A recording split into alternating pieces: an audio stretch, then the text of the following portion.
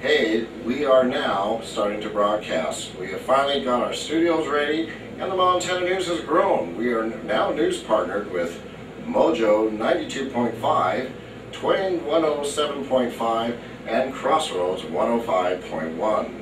The, the goal of the Montana News is to reach the bulk of the people. We have the message, we speak the truth, so if you want to hear the truth, tune in to the Montana News at www.montanasnews.com. Welcome to the Montana News First broadcast. I'm Vanette. And I'm Donald. In local news, Taco Bell is coming to the south side of Billings. Recently, a builder permit was uh, issued to a Missoula-based CLC restaurants, and that new Taco Bell will be located in South Billings Urban Renewal District. The actual location for that new Taco Bell will be at 749 Commerce Way, which is right by Amend Park and Dairy Queen. Yeah, and also that new Popeyes. grill. Yeah, that's it. The Louis, Louisiana Grill, Popeyes. It's right over there on King Avenue West. Anyway, this will bring a new revitalization to the residents that live on the south side of Billings, and the Montana News and our viewers welcome the California chain-based company that is owned by Yum Brands, who already have three stores here in Billings. Now we've got four. That's cool. Well, today in the Montana News latest crime report, according to Sergeant Matthew Cheney, the Billings Police Department, on 8-8-2016 at 2300 hours, Billings police were dispatched to a report of a robbery at the Hilltop Station Casino located at 523 Hilltop in Billings, Montana. Two unidentified males entered the small casino, which was occupied by one employee and two customers. The robbers were both both had guns on them.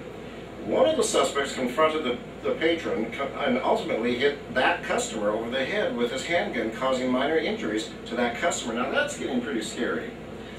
According to an M&A source, the suspects then fled from the casino and took an undisclosed amount of money. The suspects both appear to be middle-aged white males. Now that really, That could be anybody. that could be anybody. The Montana News encourages the residents of Billings to arm yourself with handguns. Go get a concealed carry permit or open carry your weapon if, it, if you can legally do it. It just takes one good man with a gun to stop a bad man with a gun. It's your right. Well, and actually, you can go right down to the sheriff's office and fill out that paperwork. It's pretty easy to at least get the process started.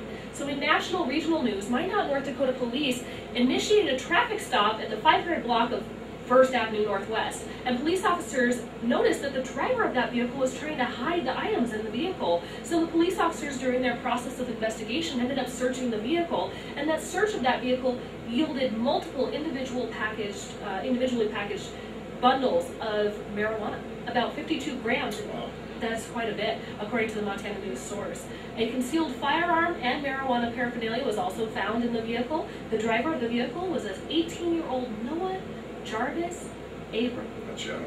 Yes, he's very young. He was charged with possession of marijuana paraphernalia, possession of marijuana with intent to deliver, and possession of a concealed firearm without Out. concealment, Concealed. without a concealment license, and driving while under suspicion. Suspension, yeah. Suspension. In a phone interview with Montana News, the Minot Police indicated that their crime rate is actually going up and an increase of drug activity in their town. Well, speaking of that, you know, here in Billings, the crime rate is also increasing. The Billings Police Department are having to handle more calls now than they've ever handled, and of course, that's why they're hiring more and more police depart uh, police officers. Of course, they've got to change with the old guard uh, retiring and leaving, and, new people coming out. But if we, the problem is bigger than just Billings and Minot, North Dakota. If we look at the national scene, we can see that there's crime, major crime taking place with, that, that's really violent. And again, I stress that it's you, the public, you need to protect yourself. Go arm yourself with a gun.